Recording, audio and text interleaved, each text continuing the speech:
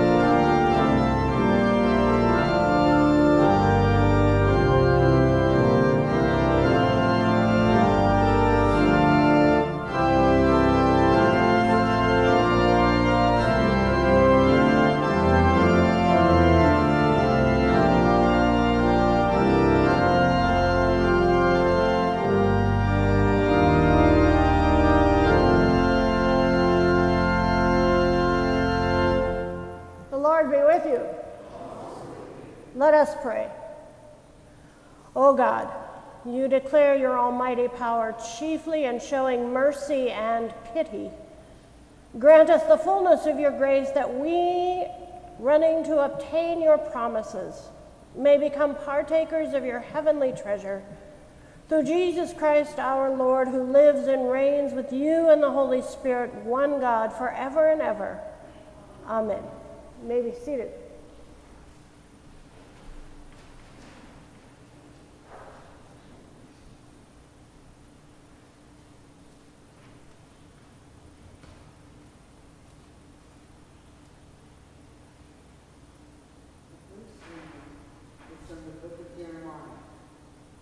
Thirty-second chapter.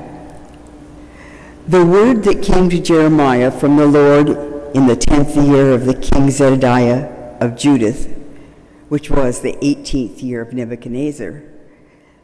At that time, the army of the king of Babylon was besieging Jerusalem, and the prophet Jeremiah was confined in the court of the guard that was in the palace of the king of Judah, where the king Zedekiah Zedekiah of Judith had confined him. Jeremiah said, The word of the Lord came to me Hanamel, son of your uncle Shallum, is going to come to you and say, Buy my field that is in Anathoth, for the right of redemption by purchase is yours.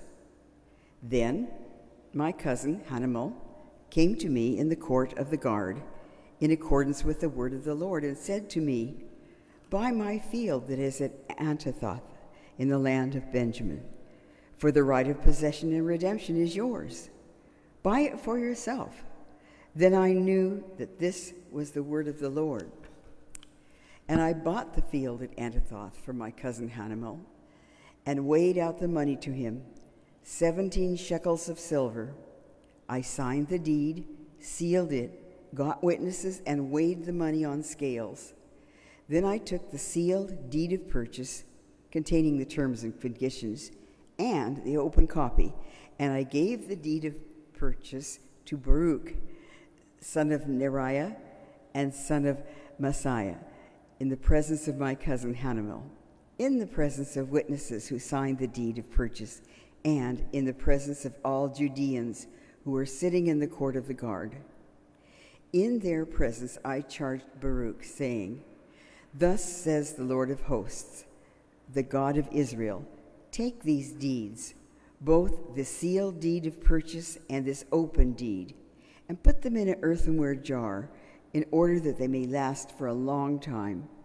For thus says the Lord of hosts, the God of Israel Houses and fields and vineyards shall again be bought in this land. The word of the Lord.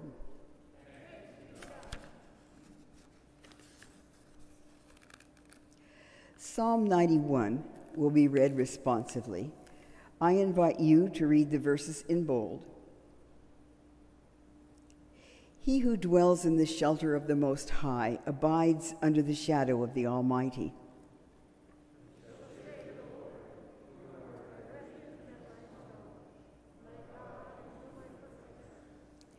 He shall deliver you from the snare of the hunter and from the deadly pestilence.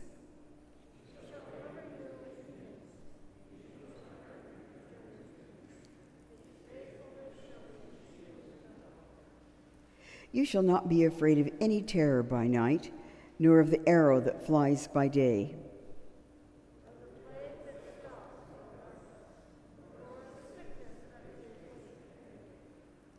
Because he is bound to me in love, therefore will I deliver him. I will protect him, because he knows my name.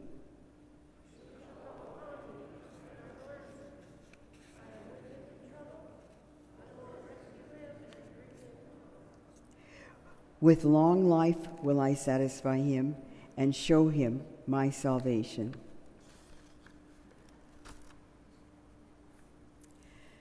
The second reading is from the book of Timothy, the sixth chapter.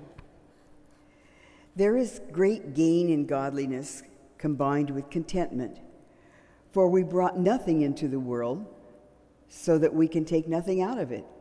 But if we have food and clothing, we will be content with these. But those who want to be rich fall into temptation and are trapped by many senseless and harmful desires that plunge people into ruin and destruction. For the love of money is a root of all kinds of evil, and in their eagerness to be rich, some have wandered away from faith and pierced themselves with many pains. But as for you, man of God, shun all this. Pursue righteousness, godliness, faith, love, endurance, gentleness. Fight the good fight of the faith. Take hold of eternal life to which you were called and for which you were made. The good confession in the presence of many witnesses. In the presence of God, who gives life to all things, and of Christ Jesus, who in his testimony before Pontius Pilate made the good confession.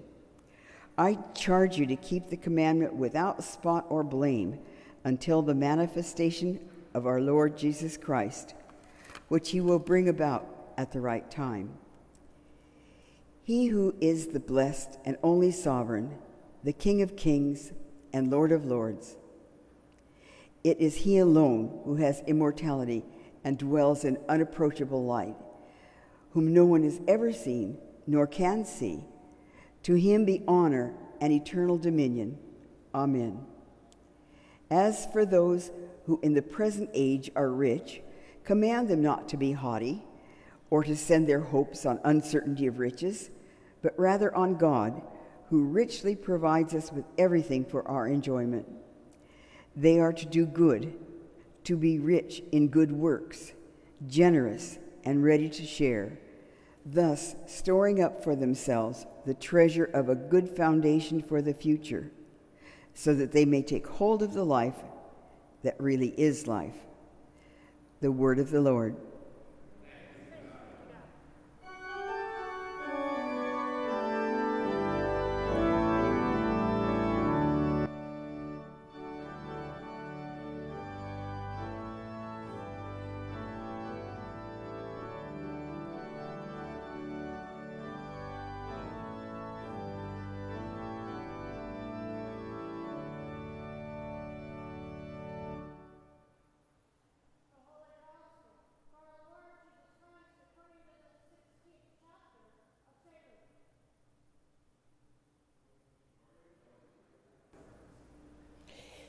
Was a rich man who was dressed in purple and fine linen and who feasted sumptuously every day. And at his gate lay a poor man named Lazarus, covered with sores, who longed to satisfy his hunger with what fell from the rich man's table. Even the dogs would come and lick his sores. The poor man died and was carried away by the angels to be with Abraham. The rich man also died and was buried. In Hades, where he was being tormented, he looked up and saw Abraham far away with Lazarus by his side. He called out, Father Abraham, have mercy on me and send Lazarus to dip the tip of his finger in water and cool my tongue, for I am in agony in these flames. But Abraham said, Child, remember that during your lifetime you received your good things, and Lazarus in like manner evil things. But now he is comforted here, and you are in agony. Besides all this, between you and us a great chasm has been fixed, so that those who might want to pass from here to you cannot do so, and no one can cross from there to us. He said, Then, Father, I beg you to send him to my father's house, for I have five brothers, that he may warn them, so that they will not also come into this place of torment. Abraham replied, They have Moses and the prophets, they should listen to them. He said, No, Father Abraham, but if someone goes to them from the dead, they will repent. He said to him, If they do not listen to Moses and the prophets, neither will they be convinced, even if someone rises from the dead. This is the gospel of our Lord.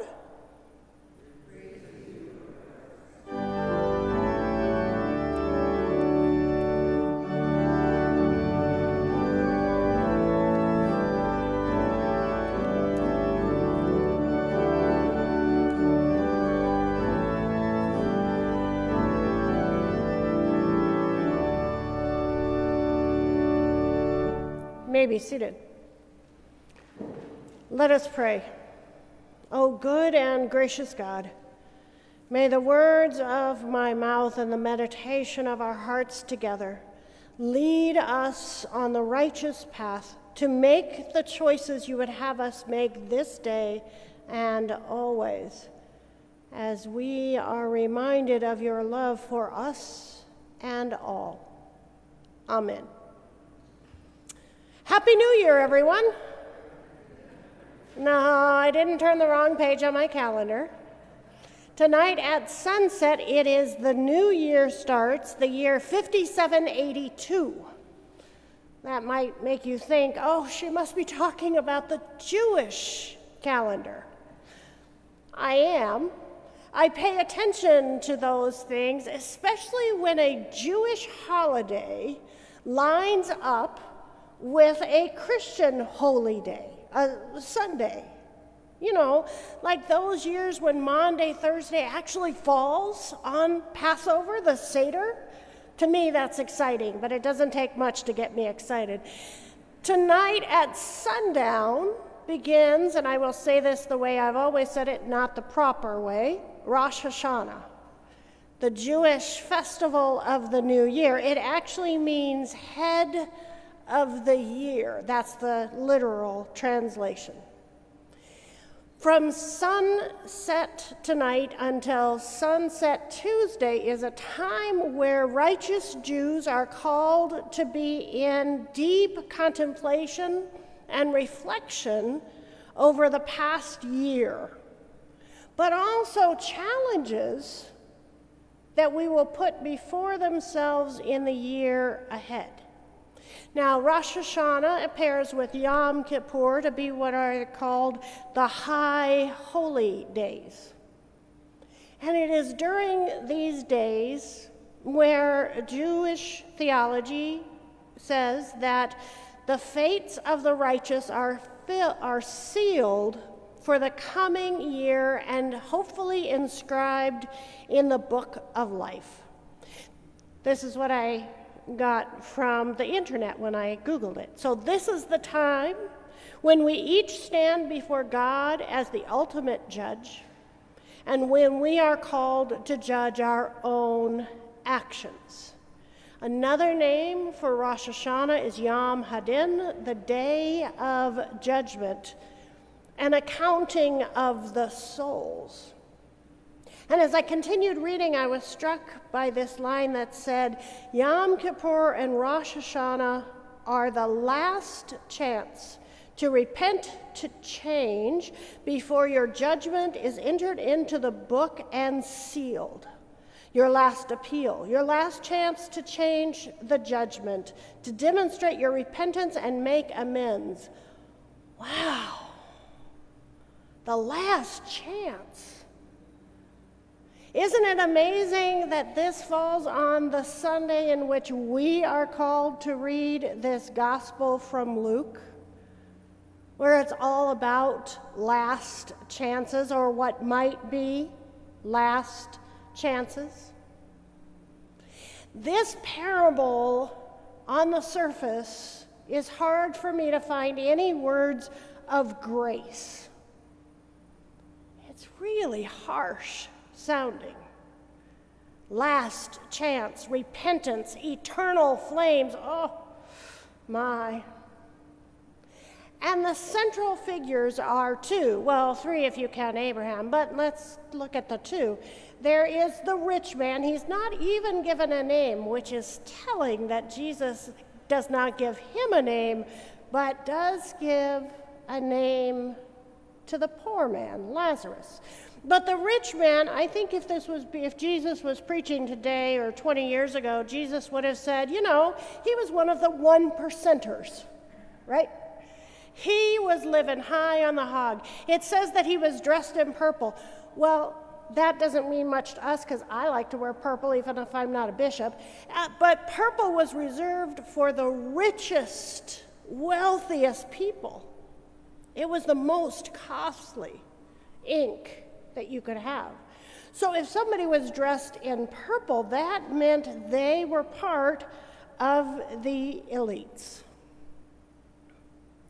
And then we have poor, literally, poor Lazarus, living a wretched life. The picture that emerges is of him laying at the gate. And in my mind's eye, I see that the rich man, in order to get into his house, literally would have to step over Lazarus. And yet he could only get scraps of the table. The only human being that's aimed to pay attention to him from the rich man's household was the dog who came to lick at his wounds. In short, these two men lived extremely different lives, as far apart as you could get here on earth had nothing in common until they both died. Because rich or poor, we are all going to die. I have news for you there's no way to get out of this life except through death. And the rich, the poor man died first, Lazarus, and he went to the arms of Abraham. He was fed, he was bathed, he was cared for, he received all the comforts that he was denied here on earth. And then we have the rich man who went straight to hell. Yes, I said it. That four letter word, kids don't say that unless you're in the pulpit. The, poor, the rich man looks up and sees this man, Lazarus, that he had walked over and past and beside in this earth was getting everything that the rich man longed for. He was in torture. And again, I find it interesting. He doesn't say to Abraham, Abraham, can you send me something? He signals out Lazarus. He still is picking on Lazarus and thinks, well, he's not the best, right? Send him down. Nobody will miss Lazarus. I'm, I'm thirsty. I'm hungry. I'm in pain. And this is where I struggle with the lack of grace because Abraham says, oh, okay, does not say, oh, okay. Abraham says, hey, you reap what you sow. I'm paraphrasing again, sorry, folks. You had the good when you were on earth. And you dismissed, overlooked, walked past those who did not have what they needed to even survive. It was a form of abuse that you had for those that you did not deem worthy. You had eyes, and yet you did not see those who were poor and lame and widowed. Those were grieving and those were sick. You did not see those when you walked this earth. And you've already had the good, and so you have gotten what you deserved. But Lazarus was denied all that, and he is here now receiving his consolation. In this parable, Jesus is making it very clear that there's a point where it is too late to change. Right? Rich man, too late. You are stuck where you are for all eternity. But the rich man says, Well, what about my brothers? Send Lazarus to go tell them so they'll get a chance to change their ways. And Abraham says they have everything they need, right? It's in Holy Scripture. In Deuteronomy, we read, Hear, O Israel, the Lord is God, the Lord alone. You shall love the Lord your God with all your heart, with all your soul, and with all your might. Love the God. Love your neighbor. Jesus links this more than once in his Gospels. We cannot love God if we are not loving humanity. Reverend Peter Gomes wrote a commentary on this parable.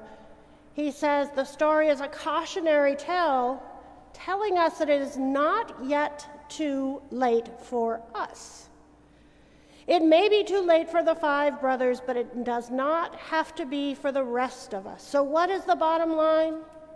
Jesus is challenging us to get our acts together now. We are challenged to listen to the gospel and hear it and then act on it in whatever ways we can.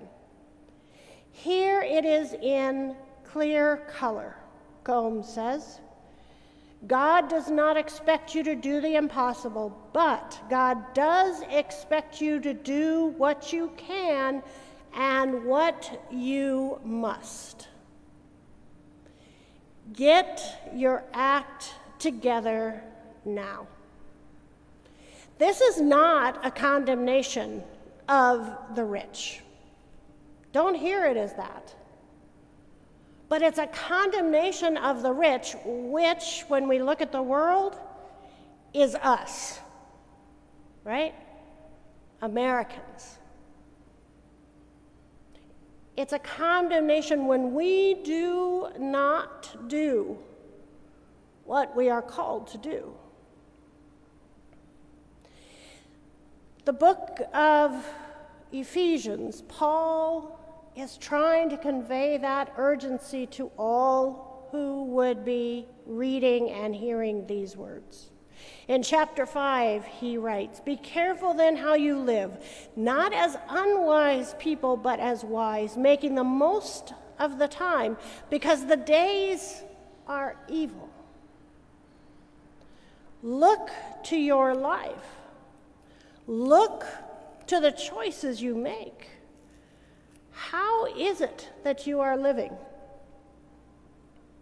Now, there's a quote that I misquoted for a long time until I started reading the Bible seriously that comes up right in this morning's readings, right? Maybe you've heard this quote, maybe you've misused it. The, the root, sorry, let's start over. Money is, how does it end? The root of all evil, right? Can you point out where it says that in the Bible, in these readings? No, because that's a misquote. Look carefully at what it says. The love of God is a root of all kinds of evil. Wow, that's different, isn't it? Scripture doesn't condemn money, it condemns love of money. And it doesn't say that money is the root of all evil, right? But it's the root of many kinds of evil. Because when you love money more than you love God, your choices will be the choices of the rich man in the parable.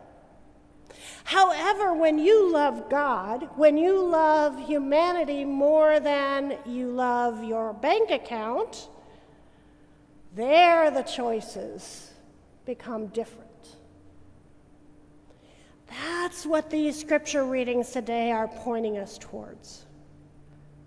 Just like the, our Jewish brothers and sisters examined their lives during these high holy days, we're called to do it not just today, but every day. To examine our lives, to examine our priorities, to examine what and who and how we love God and the world around us. There is a stark warning. There will be one day where it is too late. Praise be to God for those of us sitting here. It is not too late yet. We have come here to examine our hearts and our lives and our minds, pay attention to the words of the confession, pay attention to the words of grace that come when we share the Lord's Supper. Pay attention to the words of love and grace and acceptance that come into your heart as you pray seriously the prayers in this day. And then go out and do likewise. For the world is waiting for people who take seriously the love of God. Amen.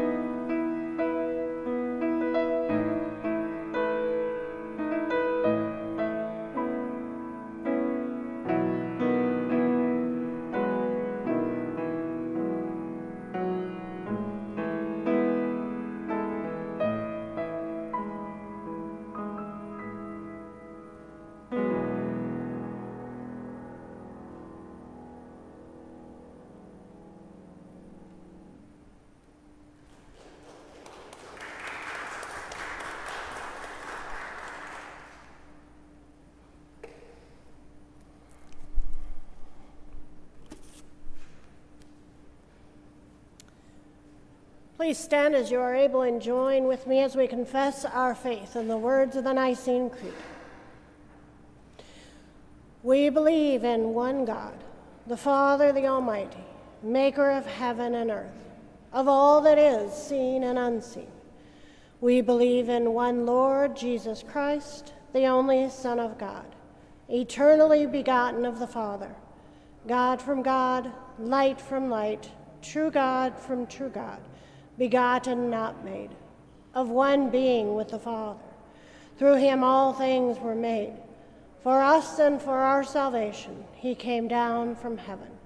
By the power of the Holy Spirit, he became incarnate from the Virgin Mary and was made man. For our sake, he was crucified under Pontius Pilate. He suffered death and was buried. On the third day, he rose again in accordance with the Scriptures he ascended into heaven and is seated at the right hand of the Father. He will come again in glory to judge the living and the dead, and his kingdom will have no end. We believe in the Holy Spirit, the Lord, the giver of life, who proceeds from the Father and the Son. With the Father and the Son, worshiped and glorified, he has spoken through the prophets. We acknowledge one holy Catholic and Apostolic Church. We acknowledge one baptism for the forgiveness of sins. We look for the resurrection of the dead and the life of the world to come. Amen. Let us pray for the church and for the world. Grant, Almighty God, that all who confess your name may be united in your truth, live together in your love, and reveal your glory in the world.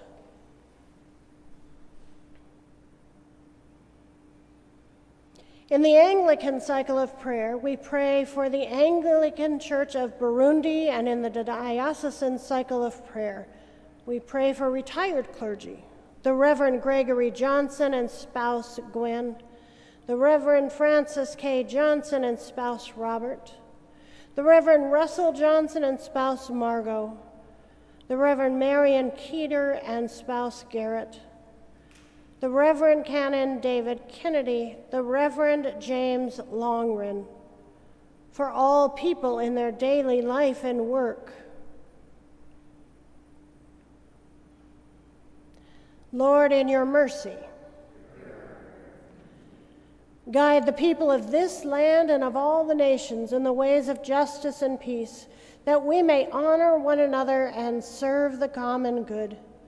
We especially pray for those suffering from the war in the Ukraine and all places where war rages.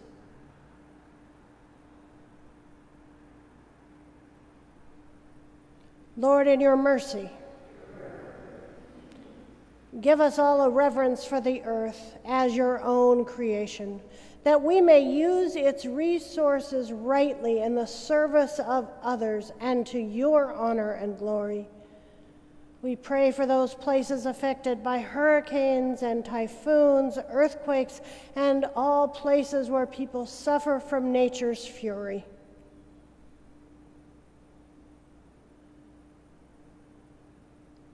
Lord, in your mercy,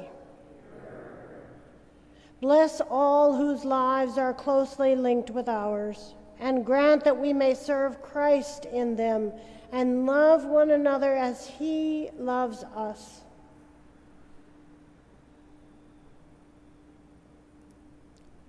Lord, in your mercy, comfort and heal all those who suffer in body, mind, or spirit. Give them courage and hope in their troubles and bring to them to the joy of your salvation.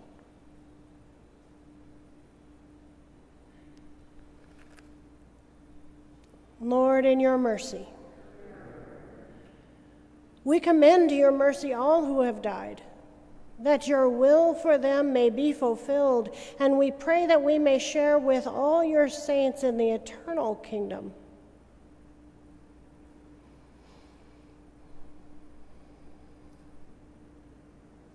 Lord, in your mercy. Receive the prayers of your children, merciful God, and hold us forever in your steadfast love through Jesus Christ, our holy wisdom. Amen. Let us confess our sins against God and our neighbor. Most merciful God, we confess that we have sinned against you in thought, word, and deed, by what we have done and by what we have left undone. We have not loved you with our whole heart. We have not loved our neighbors as ourselves. We are truly sorry and we humbly repent. For the sake of your Son, Jesus Christ, have mercy on us and forgive us, that we may delight in your will and walk in your ways to the glory of your name. Amen. Almighty God, have mercy on you, forgive you all your sins through our Lord Jesus Christ, strengthen you in all goodness, and by the power of the Holy Spirit, keep you in eternal life. Amen. The peace of the Lord be always with you. You may share a COVID safe sign of peace with those beside you. You know who you're allowed to hug and touch, as we say. You may be seated as we have a time for the announcements.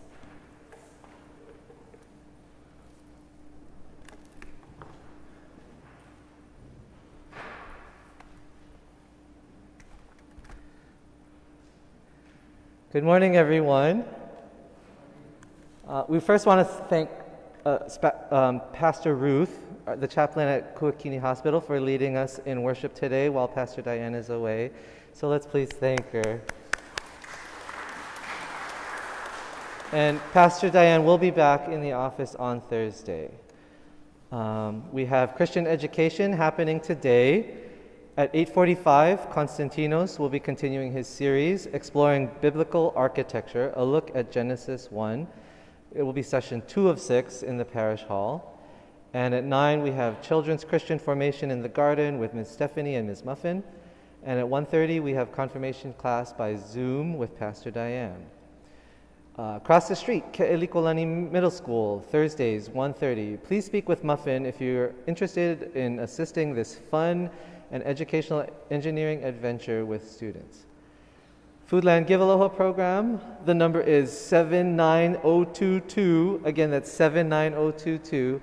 If you have not yet participated, we still have till the end of the month to make that donation through, um, through Foodland. Um, an explanation of how it works is in your bulletin. So that's this Friday it ends. Um, stained glass book, Windows of Light, Windows of Hope uh, by Dr. Epping. Please pick up a copy of this beautiful book from Joseph. It's available um, right back here. Um, and we have one for every family in the church if you have not yet picked up yours. Uh, let's see, other announcements in the bulletin Bible study, Wednesdays 10 a.m. by Zoom, Jazz Vespers, Thursdays 6 p.m. online or in person, and A Moment with Music, Dr. Publishes every weekday by 6 a.m. on Facebook. Okay, birthdays um, for this week, at least the birthdays we have in our church records. On Monday, we have Paula Choi. Tuesday, we have Estelle In. And Thursday, we have Eunice Wong and Diane uh, Chin. Um, or most people call her, is it Dee, or do we know? Um, are there any further birthdays that we may not know about? No? Okay, if you'd like to join us on the birthday prayer, it's on page 30 in your Books of Common Prayer. It's number 50.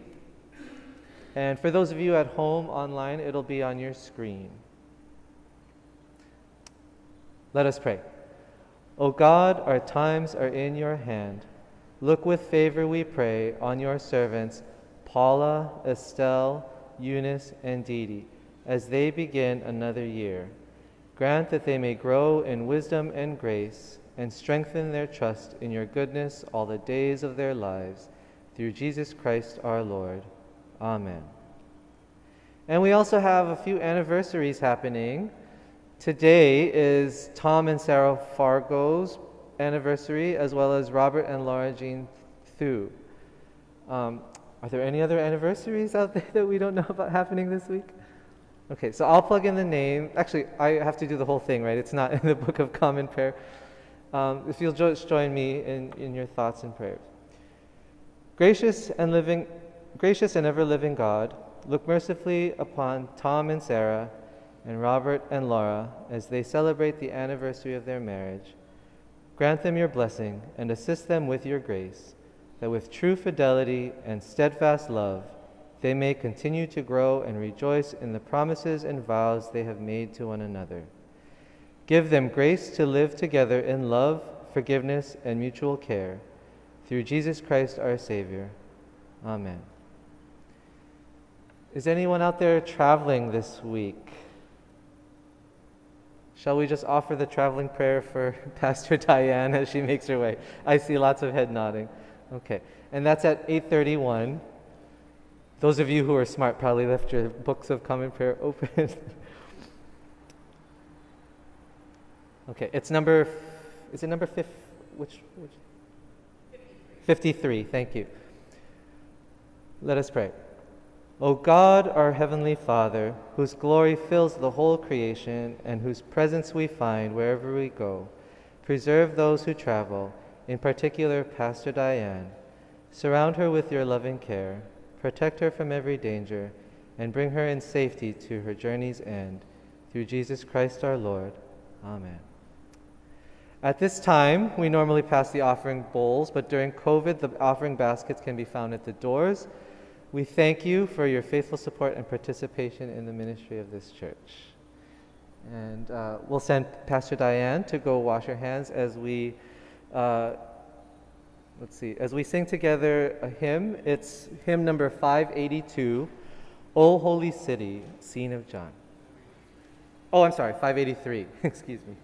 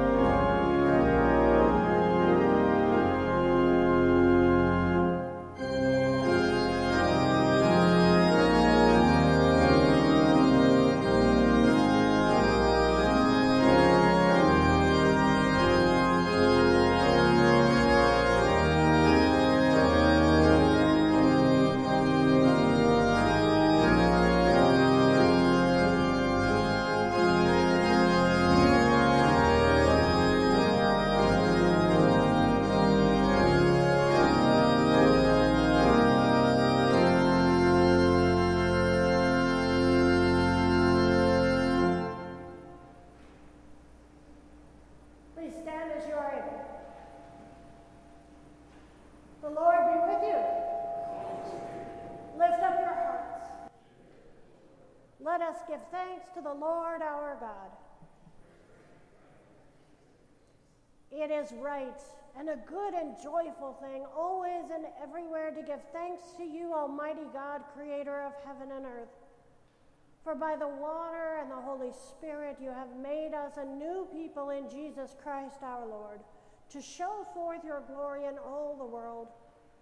Therefore we praise you, joining our voices with the angels and archangels and with all the company of heaven, who forever sing this hymn to proclaim the glory of your name.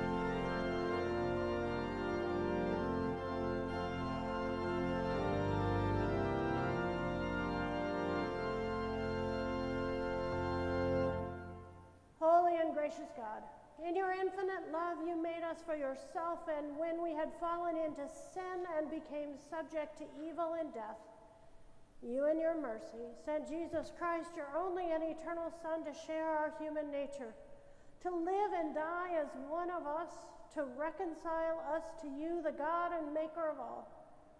Jesus stretched out his arms upon the cross and offered himself in obedience to your will, a perfect sacrifice for the whole world. On the night he was handed over to suffering and death, our Savior Jesus Christ took bread, and when he had given thanks to you, he broke it and gave it to his disciples and said, Take, eat. This is my body, which is given for you. Do this for the remembrance of me. Again, after supper, Jesus took the cup of wine, and when he had given thanks, he gave it to them and said, Drink this, all of you. This is the blood of the new covenant, which is shed for you and for many for the forgiveness of sin. Whenever you drink it, do this for the remembrance of me. Therefore, we proclaim the mystery of death. Christ has died, Christ is risen, Christ will come again. We celebrate the memorial of our redemption, Almighty God, in the sacrifice of praise and thanksgiving. Recalling Christ's death, resurrection, and ascension, we offer you these gifts. Sanctify them by your Holy Spirit to be for your people the body and blood of your Son, the holy food and drink of new and unending life in Christ. Sanctify us also that we may faithfully reserve, receive this holy sacrament and serve you in unity, constancy, and peace. And at the last day, bring us with all your saints into the joy of your eternal kingdom. All this we ask through Jesus Christ our Savior. By Christ and with Christ and in Christ in the unity of the Holy Spirit, all honor and glory is yours, Almighty God, now and forever. Amen. And now, as our Savior Christ has taught us, we pray, Our Father, who art in heaven, hallowed be thy name. Thy kingdom come, thy will be done, on earth as in heaven. Give us this day our daily bread, and forgive us our trespasses, as we forgive those who trespass against us. And lead us not into temptation, but deliver us from evil. For thine is the kingdom, and the power, and the glory, forever and ever. Amen.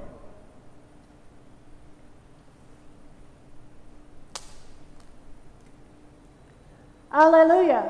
Christ, our Passover, is sacrificed for us.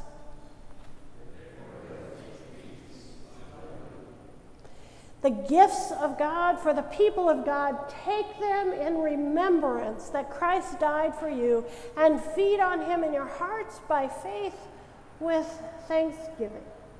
Amen.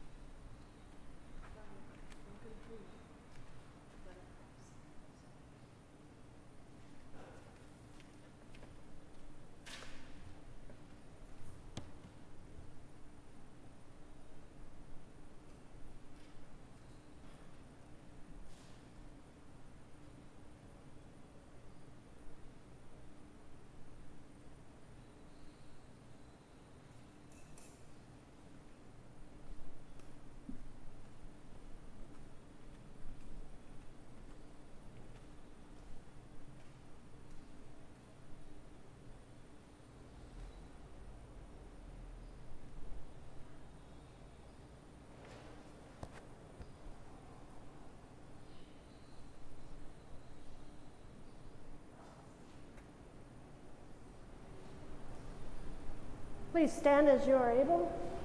Receive the blessing. And now may the body and blood of our Lord Jesus Christ strengthen you and keep you in God's grace unto life everlasting. Amen. Let us pray. Eternal God, you have graciously accepted us as living members of our Savior Jesus Christ, and you have fed us with spiritual food in the sacrament of his body and blood. Send us now into the world in peace, and grant us strength and courage to love and serve you with gladness and singleness of heart. Through Christ our Savior. Amen. The God of peace, Father, Son, and Holy Spirit bless you, comfort you, and show you the path of life this day and always. Amen. Our closing hymn is number 625, Ye Holy Angels Bright.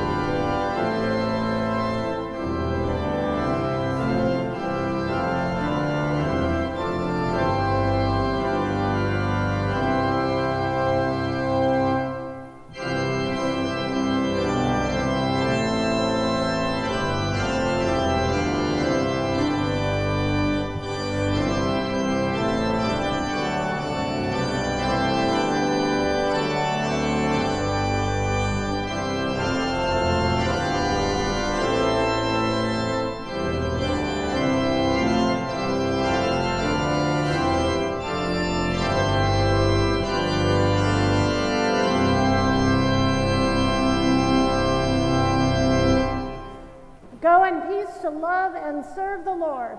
Alleluia, alleluia.